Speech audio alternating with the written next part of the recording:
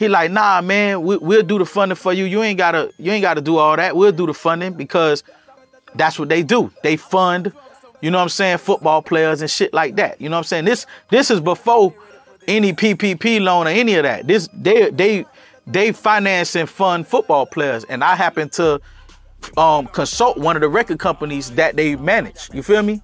So when he tell me, okay, we'll do the funding for the whips and we'll do, I say, shit, I need sprinters too for this Millennium Tour. And he said, all right, I got you. I'm gonna call you.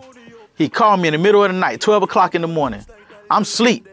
I answer the call for him. He said, you still need the funding? I say, yeah. He say, um, all right, send me your LLC and send me your name. That's it. Nigga ain't say nothing else to me. Ain't ask me no other questions. Ain't say send me no document, nothing. Nigga asked me for those two things.